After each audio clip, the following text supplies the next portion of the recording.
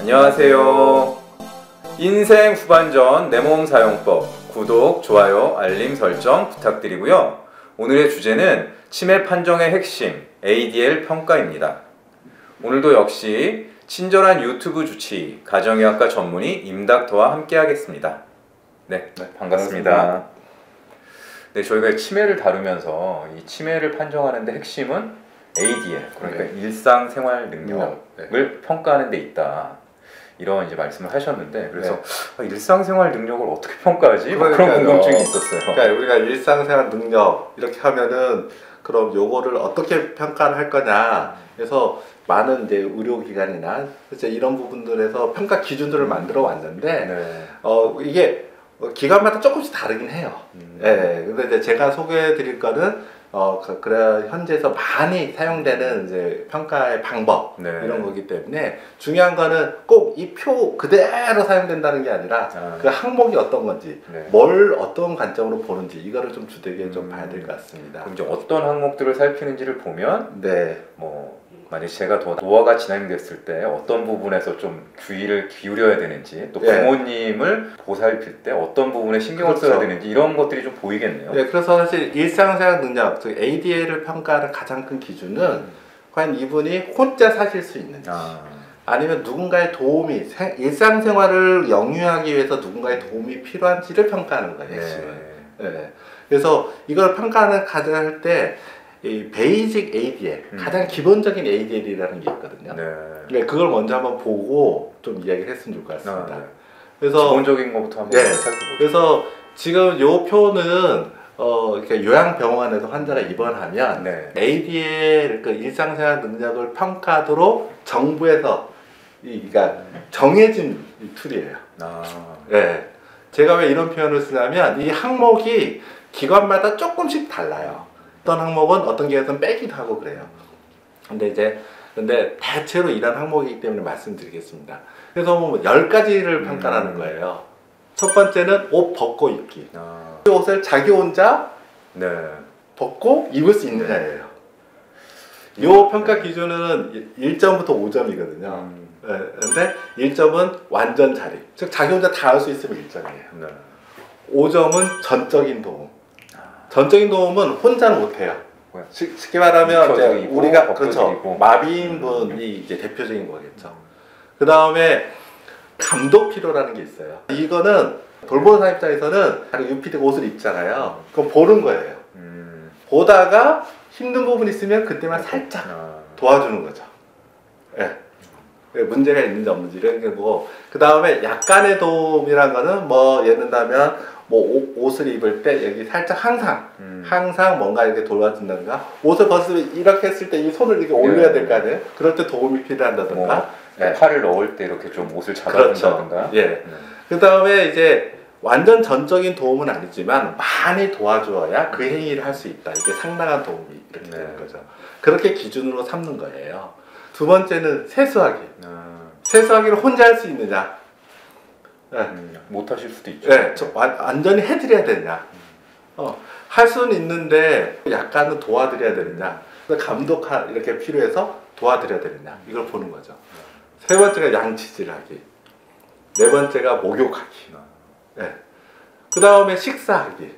식사를 혼자 드실 수 있느냐? 음. 이 식사하기란 거는 식상이 차려진 것을 차려진 밥을 예. 네. 본인이 다 뜨고 드실 수 있느냐 아니면 전적인 도움은 주로 코출을 하시거나 이런 음. 거고요 그 다음에 거의 떠드려요 완전히 네. 다 떠드리고 해야 되는 그런 경우를 얘기하는 거죠 그 다음에 체위병정학이라는 것은 이제 침상에 누워있을 때 본인이 이렇게 좌우로 음. 체위를 변경해서 혼자 힘으로 할 수 있느냐 네. 아니면은 할 때마다 도와드려야 되느냐 음. 아니면은 저- 본인은 전혀 못하고 간병인이나 아니면 돌보는 사람이 전적으로 해줘야 되느냐 네. 이렇게 보는 거죠. 그 다음에 이제 일곱 번째 항목이 일어나 앉기. 음. 예. 일어나 앉기라는 것은 침상에 누워 있으면 누워서 본인이 일어나서 앉을 수 있느냐. 옮겨 앉기는 그겁니다. 제가 여기 앉아 있잖아요. UPD 있는 자리로 옮겨 앉을 수 네. 있느냐. 일단 앉은 상태에서 다른 자세 네. 자리로 옮길 수 있느냐. 옮길 수 있느냐. 네.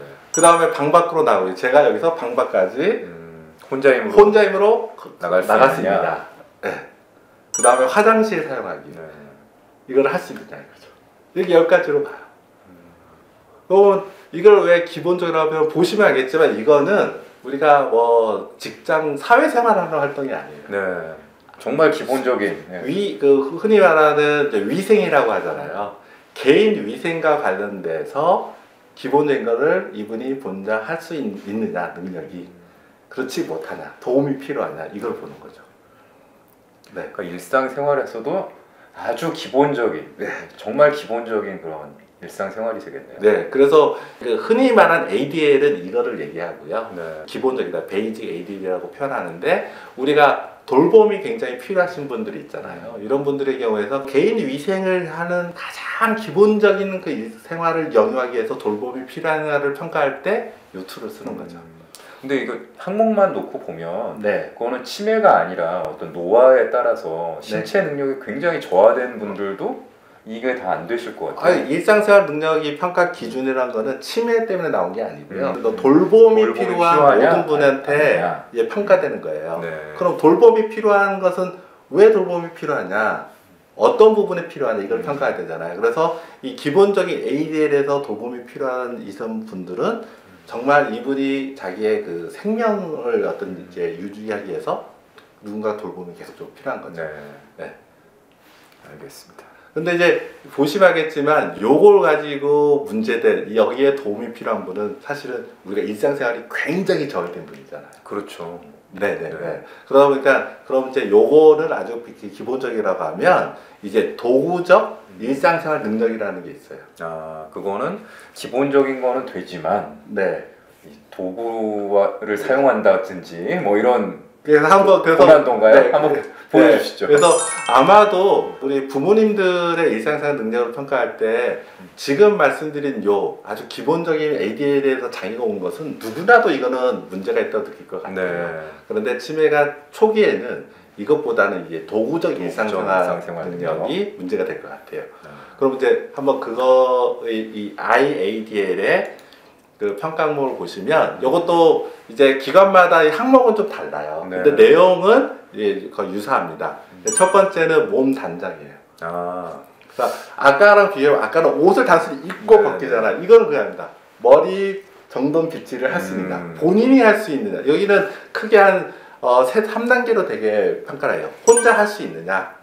전적인 도움이 필요하자. 약간의 네, 도움이 필요하냐. 필요하냐. 약간의 도움은 여러 가지입니다. 빗질을 이렇게 하- 할 수는 있는데 본인이 빗을 가- 갖다 줘야만 할 수 있는 경우가 있어요. 아이 약간의 도움의 형태가 여러 가지. 음. 네. 그 다음 화장을 혼자 할 수 있느냐. 아까 ADL과는 많이 다르죠. 그렇죠. 네. 그 다음에 면도 남성의 경우 면도. 그 다음에 손톱 발톱 깎기를 혼자 할 수 있느냐. 이걸 보는 거죠. 두 번째 항목은 집안일이에요. 음. 집안의 실내 청소, 설거지, 친구 정리. 흔히 말하는 우리가 집안일이라고 하는 네. 것을 혼자 할 수 있느냐, 아니면 도움이 필요하냐, 아니면 이분은 집안일은 본인이 못하느냐. 음. 여기서 여기서 보시면 알겠지만 IADL이 전적인 도움이 필요하신 분의 경우에는 ADL 아까 말했던 기본적 ADL을 다시 평가를 해봐야겠죠. 음. 네. 그 다음에 아까 그 기본적인 ADL에서는 아까 식사하기 네, 상이 다밥 차렸는데 네. 밥을 먹을 수 있냐를 봤다면 지금 여기서는 본인이, 본인이 음식을 준비해서 요리를 하고 상을 차릴 수 있느냐를 보는 거예요. 네. 그 다음에 빨래하기. 그 다음 외출. 외출은 이제 크게 두 가지로 나눠요. 그래서 교통수단이 없이 걸어서 네, 도보로. 가까, 그쵸? 가까운 상점이나 뭐 관공서나 병원 이웃 방문을 해서 갔다가 올 수 있느냐. 음. 어, 그걸 잘 못하느냐. 그 다음에 교통수단 이용은 좀 다른 게 있냐면 그 교통수단마다 이용하는 방법이 있고 네. 그걸 할 수 있어야 되잖아요. 환승도 해야 되고. 그렇, 네. 그 다음 이용하려면 뭐 노선도도 좀 볼 수 있어야 네. 되고 뭐 여러 가지가 좀 더 추가되겠죠. 좀 그래서 복합적이죠. 예, 예. 그래서 교통수단을 이용할 수 있느냐. 그러니까 물건 사기예요. 여기 보시면 이게 옛날에 만들어진 tool이랑 그걸알수 있죠. 네. 이 온라인은 아니고요. 지금 상점에 가서 물건을 사는 거. 그러니까 그 물건을 산다는 거는 그 물건에 대해서 제가 돈을 지불해서 그걸 사올 수 있, 있어야 되는 거잖아요. 이런 종합적인 걸 평가하는 거죠. 그 다음에 이제 다음 여덟 번째 항목이 금전 관리, 용돈, 뭐 통장 관리, 재산 관리. 네. 뭐 공과금을 예, 낸다든지. 예, 예. 그 다음에 9번이 전화 사용이에요. 요즘은 핸드폰이겠죠. 예를 들어 자녀 핸드, 연락처를 알고 연락처를 찾아서 걸고 받고 할 수 있느냐. 그 다음에 10번이 약 챙겨 먹기. 이런 부분이 이제 10, 번 같은 경우를 보면 넣으냐 빼냐 이럴 수는 있겠죠. 음. 근데 요거를 넣는 이유를 보시면 노인분이 주된 대상인데 네. 이 분이 혼자 집에서 일상생활을 자기가 하실 수 있- 있느냐 없느냐 요거를 평가하는데 필요한 일상생활 사회 어, 활동과 관련된 내용이 들어가 있, 음. 다는 걸 알 수 있어요. 네. 그러다 보니까 약 챙겨 먹기라는 항목도 들어가는 거죠. 음. 본인이 시간에 맞춰서 챙겨. 먹을 수 있는 없느냐. 이게 안 되면 더 보살핌이 돌봄이 그와 필요한 거죠. 관련된 도움이 필요하겠죠. 네. 그래서 이런 항목이 어떤 항목이 들어갈 거냐 말 거냐가 사실은 이게 무슨 아주 객관적일 수는 없어요. 네. 그 사회에서 봤을 때 도움이 필요하냐 안 필요한가를 고른 거죠. 그런데 이제 역으로 말씀드리면 우리가 이제 치매가 진행됐을 때는 일상생활 장애가 보이잖아요. 가장 두드러진 것은 만약 직장이 있거나 아니면 사회생활 하시는 분은 사회생활에서 먼저 많이 드러나겠죠. 낯선 환경도 많을 테고. 근데 그러지 않은 경우에는 드러날 게 이제 어떤 이런 도구적 일상생활 여기에서 문제가 된다면 이분이 생활하시는 데 문제가 생기는 거잖아요. 네. 그렇기 때문에 거기에서 우리가 아 이게 문제구나. 그래서 도움이 필요하는구나 이거를 보게 되는 거죠. 네. 네. 그럼 이것도 이 어떤 돌봄이 필요한 기준점 이런 게 있나요? 그러니까 이거는 일상생활 능력에 대해서 평가하는 하나의 도구잖아요. 네. 그럼 이걸 어떻게 활용할까 하는 것은 활용하는 곳에 달려 있는 거예요. 음. 그러니까 돌봄 서비스를 이렇게 그 제공하는 기관이 있을 거 아니에요. 그 기관에 봤을 때 예를 이 ADL 점수를 하나의 그 조건으로 설정할 수 있겠죠. 그런데 일반적으로 몇 점이면 돌봄이 필요하다 이런 건 아, 아니에요. 그런 건 아니고. 네, 네. 네. 그러면 또 궁금한 게 지난 시간에 우리가 KMMSE 네. 살펴봤잖아요. 네. 거기서 이제 23점 이하가 나왔어요. 네. 근데 이 도구적 일상생활 능력을 평가해봤더니 그닥 문제가 없다. 네. 그럴 수도 있는 건가요?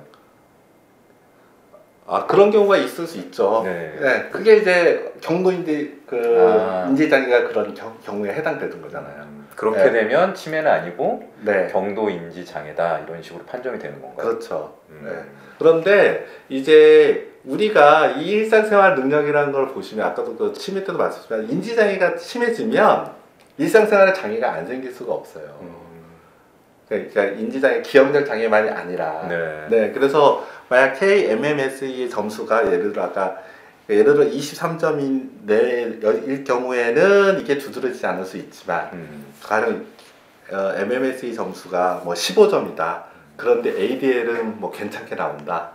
이런 경우는 없죠. 아, 없다. 네, 네, 네, 오늘 일상생활 능력 평가에 대해서 살펴봤는데 네. 뭐 마지막으로 강조하고 싶은 게 있다면? 어, 강조라기보다는 이제 우리가 일상생활 장애가 있다. 이거를 그럼 어떻게 확인할 거냐. 네. 예, 저는 그러니까 우리가 이 혈액 검사에서 예를 들어 빈혈 수치가 12 이하면 빈혈이고 이런 식으로 자를 수 있는 그 수치나 수치가 없는 거예요. 그러다 보니까 이 평가라는 건 하나의 수단이고 도구잖아요. 네. 그러면 예를 들어 우리가 이제 대상이 되시는 분을 봤을 때 이분보다 이분이 일상생활 능력은 더 괜찮다, 더 나쁘다. 또는 이분이 작년보다 올해 일상생활 능력이 더 나빠졌다. 아 이거 좋아졌다. 이거를 얘기할 때 이거를 좀 더 객관적으로 얘기하기 위해서 이런 tool, 음. 도구를 활용하는 거다. 이렇게 좀 생각을 하시면은 저는 좋을 것 같고요. 그렇기 때문에 이게 도구이기 때문에 우리가 일상생활 능력이라는 것을 아 요런 도구를 이용해서 어떤 프리즘이죠. 이런 네. 프리즘을 통해서 보니까 좀 더 우리가 분석적이고 좀 정확하게 평가할 수 있겠구나.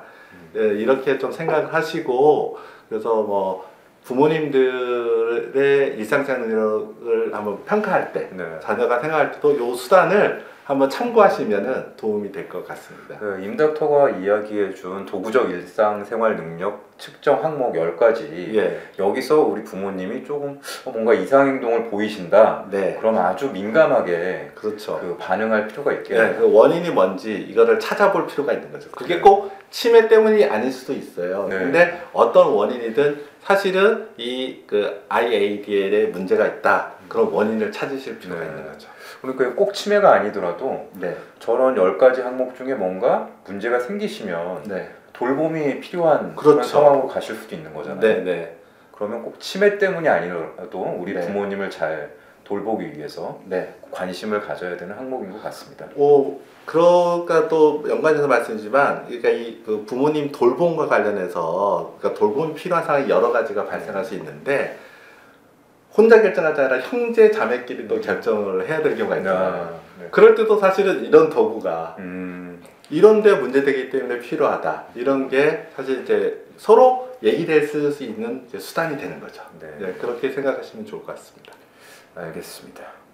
네, 오늘은 친절한 유튜브 주치 가정의학과 전문의 임닥터와 함께 치매 판정의 핵심 일상생활 능력 평가에 대해서 살펴봤는데요. 자, 다음 시간은 뭔가요? 이제 그 치매 우리가 진단이 된 경우에 이 현재 치매 상태의 중증도에 대해서 한번 종합적으로 평가하는 또 도구가 있어요. 아, 네, 그 중에 하나가 GDS라는 척도거든요. 네. 그래서 그 GDS 척도에 대해서 함께 알아보도록 하겠습니다. 네. 다음 시간도 기대해 주시고요. 긴 시간 시청해 주셔서 감사합니다. 감사합니다.